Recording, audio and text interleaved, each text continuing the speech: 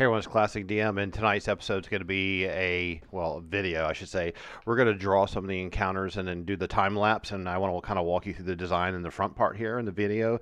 Then I'll time lapse the entire drawing, and then at the end we'll do like a quick debrief about the enemies and the encounters. Now remember, our characters haven't seen any of this yet, and uh, so you're going to get to see, I'm going to release this video right before we play it, so you'll get to know, like as a dungeon master, like what they're going to be up against before they actually play it, and then we play through the encounter, um, you'll see how it all unfolds and then we can kind of debrief that maybe in another video. So let's go ahead and get cranking on this. Um, what we're going to do first is uh, take a look at what we had last time.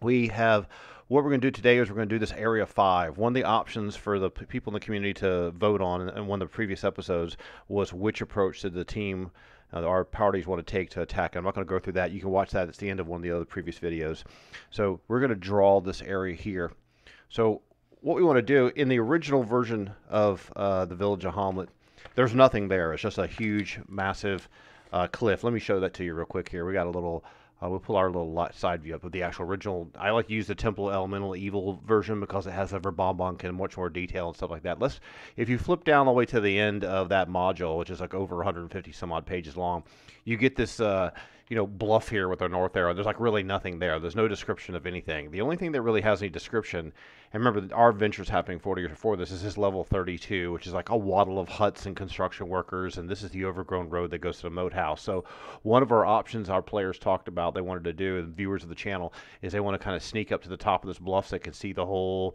entire village but the characters don't know if there's anything there yet, where there actually is. So I've got an outpost up here with a few tents and stuff like that. So you got some night guardsmen happening up here. So we're going to draw this, how they actually get up to the bluff and what the little encampment is. So imagine being like on top of the hill with like a little watch station in World War II, and you have to keep track of what's going on in the village. You need to raise the alarm, maybe signal to the moat house. So there's a little bit more uh, complexity and military history going on in the background that the, the characters are going to bump into. And it's not in the original module because remember, this is all happening long before that. So I'm going to pull that out of the way. And let's go ahead and get this map made a little bit larger for you. Actually, I'm just going to put it here in the center. Let's just do that, okay? I'm going to start uh, drawing the stuff. So the first thing I need to do is get rid of this. And I want to do some design sketches for you first before we get the tracing paper out and start doing that. One of the things I want to do here is, uh, if you take a look at this uh, paper copy, right, with this, is when you got a bluff that's happening like this, we need to come up with some kind of way to get up the bluff. So if you and I were going to, if our commander told us go set up a, you know, something on top of this 30 foot tall or 50 foot high hill, you've got these changes in elevation, which are kind of happening like this, right? So these things, I got these things drawn kind of like this. That marker sucks. Let's get a different one. Here we go. This will work better. So we've got these different, you know, change in elevation. This might be a drop of like 10 feet. So this could be like, you know, 25 feet in the air, and this is 15 feet in the air, and maybe another 5 feet. So this is all sloping upward if you're coming from the, the northeast from your perspective. So this is all the bluff area. So this is all like a flat plateau, like you might see in Arizona or something. So you can't really run up these things. If you think of these kind of things from a side view, they're going to be really sharp. They're going to be a sharp angle. You don't just run up the side of a 45 degree hill. So you're you're looking at something that's probably going to go like kind of go like this, okay? And so each one of those little lines kind of represents one of these little changes in elevation. Here's like the regular uh, level for trees and stuff are happening like this in the background. So here's trees, here's the size of dude, right? So you get to run up to the top of this bluff. Now we don't want to make it just some uh, you know exercise run it's like that. We want to make it a little steeper. So what we're going to do is because the distance between each one of these steps is pretty pretty short, we're going to make this a little bit more sheer. So this is kind of like a side view. So to make this, to facilitate this, a lot of times you'll take pieces of wood and you'll jam them in the ground like this to create kind of a stairwell effect. That way you can step on the pieces of wood and you can drag stuff up there. There's no carts or anything like that. You can maybe ride a horse up here. So in essence, you kind of need to have like an earth berm uh, form of stairs to get up there. So with this type of stuff, we're going to draw this today. We're going to create a series of like, you know, wood lattice that's been laid on the ground to get down the ground plane. So it's kind of a controlled path to get to the top. We can put some torches up there. We can put some guys guarding the top. We can have the kids out. There's going to be like a little path that leads along to get them back to the main base. We're going to have to design where that's going to be to me, it seems like it'd make more sense if it kind of went around this way, or maybe the stairs, the steps going up come along this side. If you were here and you were occupying this area, you would probably build your stair type thing happening here, not on the back. So maybe our party can see that and decide whether to come up here or they can sneak in the back way and surprise everyone from behind. So we're going to draw that next. And we're going to wing some of that along the way, just kind of creatively let the ideas flow. Man, this marker board needs to be clean. It's nasty looking. All right, so let's get our, I've already pre-taped down the trace paper, and you have to excuse me sniffling into the microphone a little bit. We've got a coronavirus here where I live, and good lord, I hope I don't have it. so we're just going to get this tape down. So what I'm going to do, in fact, let me just blow my nose. I'm going to mic this, mute this camera a second. Hang on. Good lord, that sucks. All right, cool. so here's our pencil. Yay, our crappy pencil, our, our great Sharpie, our fine tip Sharpie, and where's our other one we like to use? Here's all we really need for this for this episode what we're going to do, if you look at this thing here, it's pretty far across because each one of these little squares is 20 feet. And we're not going to draw the whole bluff. I'm just going to try to draw the main gameplay area. So what I kind of want to do is just kind of create a fictitious area to cover this little zone right here. So I'm going to focus on creating this, have the high bluff, have the water down below. This is a sheer drop off. You could kill some dude and fall him down into the river below, dump the bodies or whatever. And when the player's playing the adventure, if they decide to come into back wage, we will do random dice determinations. We don't really need to have a battle map for that. So we're going to have a kind of encampment happening at the top here. So I'm going to kind of create this a little loose on the scale and proportion. I don't want to be an exact science. So let's just give us a quick idea how we want to do that. I'm going to leave this here floating on the side so you can take a look at it. So I kind of want to capture the idea that this thing is sloping up, right? And I want to just have kind of like the bluff go like this. I'm just going to change the scale to facilitate the actual action that we're going to be able to fit on our small board. Now, one of the things I've been thinking about doing is getting, you know, I have multiple copies of these boards. Is if I have the camera further away and showing a lot of different boards at once, it's going to be harder. So we're going to do the stairs kind of coming up along here, which is going to be blocks of wood and stuff like that. So we go up 10, 20, and we got three of these elevation lines all together. And we may zigzag them some, make one bend this way. And we'll put this over here like this. This all blends together into one elevation change together. So this all needs to come around like that. And we got all this space over here to make an encampment. So from the encampment design, if you had someone at the top, this is the flat plateau up here.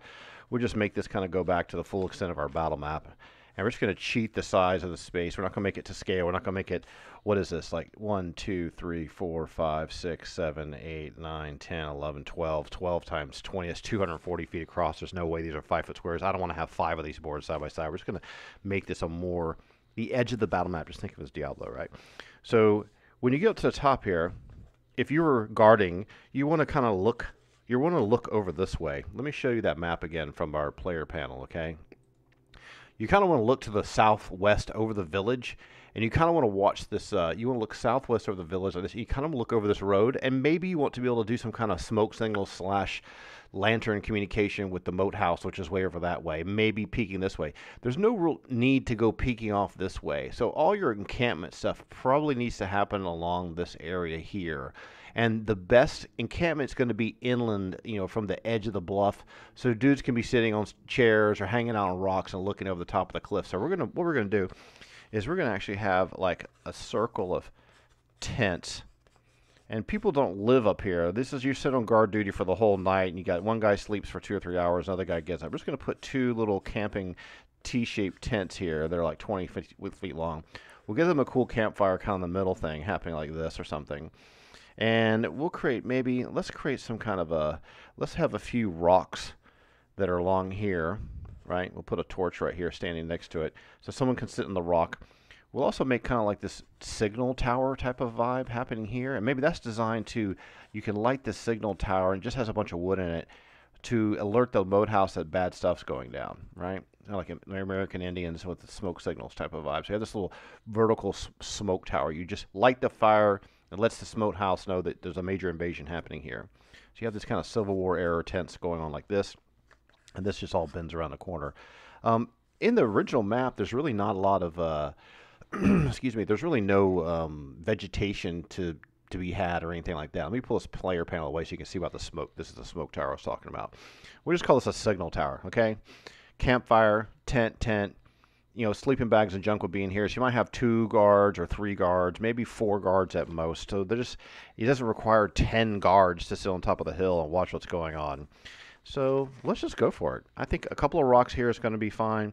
Um, I think we could put a couple, you know, boulder type rocks that they can use to sit on on here. If you're on guard duty here, you might even have a little place where you've got some massive lifeguard chair thing you can sit in all night long with a bow and a crossbow across your lap and just watch this way. Maybe it's got a torch next to it, so we want a torch maybe here, a torch here, campfire happening here. If you ride your horses up here, you're going to place to tie your horses up. So the horses probably be tied in the back here like this. Let's say the horses are a hitching post type thing. So you have horses would be back here. Just maybe enough room for two horses. And they might have, what else would you have here? You might have big stacks of wood, big stacks of wood to, to set the signal fire with. And what else would you probably need? You might have like you know some chairs that hang out here on your board. And you surround guys are telling stories to each other and hanging out from this campfire. Maybe some maybe like a maybe like a little table through here.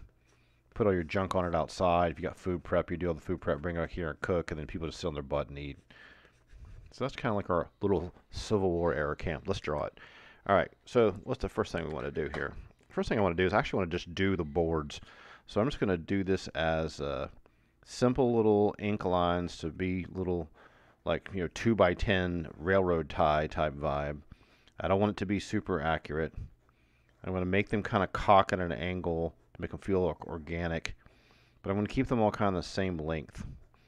So this is like something you just you know. Have you ever been to a state park where they have these kind of things? They have these wooden planks kind of set in the ground to create some kind of a spiral staircase for you to walk on without breaking your ankle. So you don't, and then when the when it rains and stuff, this won't wash away too bad.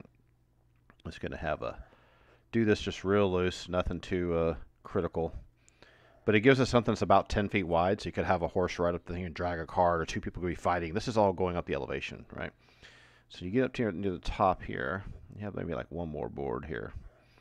So that's how they get stuff up here. And we're just going to do this little symbol here to represent a torch. We'll come back at a later date and make the torches cooler. And I'm actually going to do the uh, topography line. Just go ahead and just do it right now. This is like the edge of the cliff. Later on, we'll make that uh, more defined. That ink is dying on me around that edge like that. We can make sure that pin's not dead. I'm going to go ahead and put this other topography line along here. And later on, we'll put our little slash marks. Now, if you look at the actual original map, the river's kind of coming at the base of this all the way around here. That's not too critical, but the this river's kind of come along the bottom here. I'm just going to go ahead and cheat this in a little bit so you can actually have it as a feature on the battle map to say that there's a the stream and the riverbeds happening down here below. Because these little details, you don't even see any of this in the actual original game. Now this is even even here. We're just making this up, trying to create something cool, the equipped space that would make sense from a kind of military operation perspective. All right. I'm probably going to hush up for a bit and mute the mic and just draw so I can capture the time lapse. But this gives you an idea what the roof, the rough, the roof, the Duke Rufus uh, idea is going to be. So we're going to have this coming up here. Boulders, little lifeguard chair type deal, some boulders, chairs, fireplace, two Civil War style tents, uh, signal tower. This is a sharp cliff you know, stacks of wood, table to, you know, put cooking supplies on, place to hitch horses, leave it like that. I'm going to mute the mic and just draw. Talk to you later when we come back.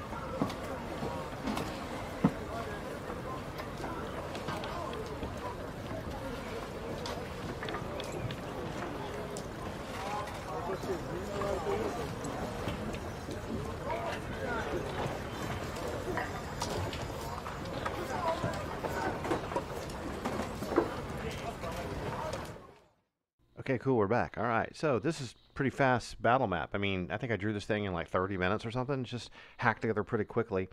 Let's talk about how we're going to. Uh, what's the DM's perspective on this setup? So our players are pretty much probably. Let's just get some miniatures up here for a minute. Let's just say here's our fighter. Uh, where's our magic user? Magic user, a cleric girl, Seamus, the druid, and our monk girl. So we got this party of six, right? If they decide to come up this back way, and let's put some guards up here. Let's say we got a crossbow girl up here. Say we have a couple of jokers with sword, short swords hanging out by the fire. They're sitting together right next to each other talking the whole night away. And maybe there's yet, maybe someone's sleeping in the tent. And that's it. It's just four because it's a party of six they're going to they only really need to have four people any one time up here. So when our kids arrive in on the cover of darkness or whatever you decide as the as the fans are watching the channel and directing the action that when they actually come to this place if you come here at night or during the day your max situation is probably going to be four. If you if they try to come up this back way um, it's going to be kind of tough because all the scruffling and sliding down the hill kind of business that might happen so you might alert the sound of these guys here. So we'll do some rolls, like so we'll make up some percentage rolls that can handle that. So they're making a bunch of noise and someone fails like a dexterity check. Um, we can make a bunch of noise and they can be down there. And we could just use a blank white battle map. We'll just draw on the fly. But if they decide to do something like the monk and the and the assassin hide in shadows and come up here, this is the line of sight of this girl's going to be up here, whether she's sleeping at the wheel or whatever. I mean, no one's really attacked this place, so it's not like you have a bunch of uh, Nazi Germany guys on high alert waiting for the French resistance to show up fully armed and start killing people. But this, you know, this is the first thing you're going to have to do. You're going to have say this person here sleeping. These two dudes are hanging out by the fire. It's crackling, making flames. Maybe it's a moonlit night, and here's the tent. And this thing isn't lit, man. This is a signal fire in case of emergency kind of a vibe. So this person's kind of dazing off on top of like the lifeguard lifeguard chair. So if we do a stealth approach, it'll be interesting to see what happens there, where they can, where they decide to come around these rocks or try to backstab these two people simultaneously, and then how they deal with the person that turns around and takes a shot at them. We'll see how that plays out in the actual gameplay session. So now we're talking about balance. One thing that's really important for this kind of thing is that we don't make our first encounter wipe everyone out, right? And one of the ideas I'm thinking of going with here is I want to keep a decent number of enemies that are all like level zero men at arms. Um, as the players get stronger and more powerful, we'll create a little bit more powerful characters. Let me just pull up some stuff on the right hand side here for a minute. Bear with me a minute. And uh, we can talk about that really briefly from a game design perspective give me a second to pull up a book here. Let me just pull up the uh, DM screen. That'll actually help because you can see how I want to balance this thing. Because it's really important to me that the players and the characters get a chance to actually win a few battles. I'm not necessarily uh, want to wipe them out. I want them to start thinking tactically, and I want it to be hard. I don't want them to get destroyed. And we are giving the players max hit points, but the men at arms and the enemies are going to be like random hit points. They might be like two to six hit points, two to eight hit points. We treat them like a uh, like an enemy in the game. Let's just put, let me put this up here real quick. Hang on a second. Let me just shut up for a minute and get this uh, thumbnails up. All right. Let me pull this up on another screen so you can see it. And I'll make it actually a little bigger because it's kind of small. I'm just going to slide this over here like this so you can see it a little bit better. This is our infamous, uh, uh, in fact, I'm going to do it this way. It's Control 2 this, make this big, this big. There we go. And me just slide this over here. So I'm not super organized on this one tonight. I'm a little tired. We'll just pull this over like this, slide this over like that. Yippee, we're getting there. This is better than a college class. All right, so what do we got to work with here? So this is the weapons, whatever. You've seen this before a million times. To get down to the uh, uh, roll to hit tables here in, in the uh, um, the DM screen. So I don't want to use the uh, you can or you can't. There's a couple ways to do this. One way to do this is have zero level, which is this where you see my mouse cursor here is over on the left hand side, zero level man at arms type characters.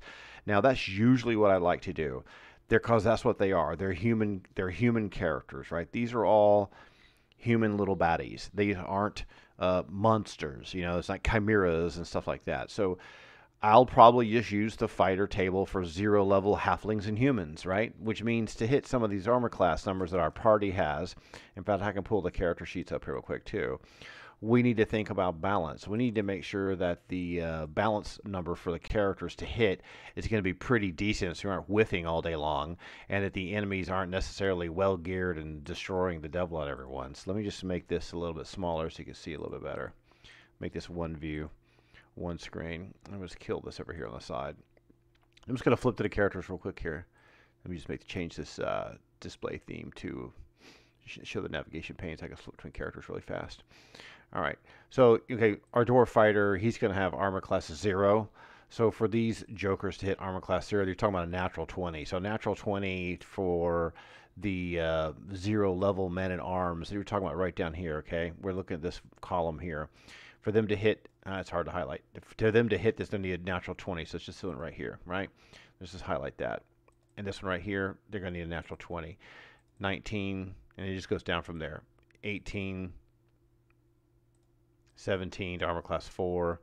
So if you look at our party, we've got, you know, armor class 0. It's going to be pretty hard for them to hit him. So if he comes, he could probably just bum rush somebody, and he'll probably be okay. So from a DM's perspective, that's okay. And for the cleric, who's AC 3, they're probably not going to hit her very good either. They're going to need natural 18s to hit her. They're not going to have any bonus to hit. They're going to have crappy little weapons, little, little light crossbows, little short swords. They're not like equipped with two handers or anything.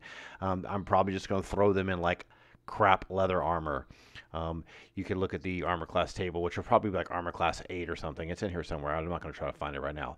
Um, here it is, right here. So leather armor or padded armor. So consider the bad guys, these zero level men at arms jokers in our map here to be like wearing just some crappy leather jerkin, uh, and, they're just you know using a light crossbow and short swords, maybe having a dagger, and you're gonna have like maybe a maximum from one to eight hit points.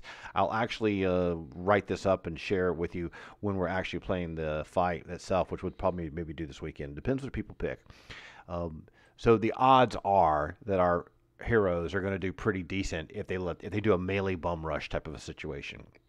Um, if they try to sneak up and do backstabs, Okay, so if our assassin, which is Seamus Shelvin the Embalmer, or Rhea Indir, who's not the brightest young lass in the world with eight intelligence, if these two try to do their hide and shadows, which is pretty small, like a 10% chance for the monk and hide and shadows for the assassins, 15%. But even if they just use the cover of darkness and try to get in here and sneak around, um, uh, and it's doing it at nighttime and they're trying to do it the best of their ability, I will use kind of a commandos style line of sight situation. Not like Elder Scrolls Online. Let me just explain to you how I would do that. So, you know, these characters are, are can see here other peripheral vision, but they're really only focusing on this area here, turning and looking to each other.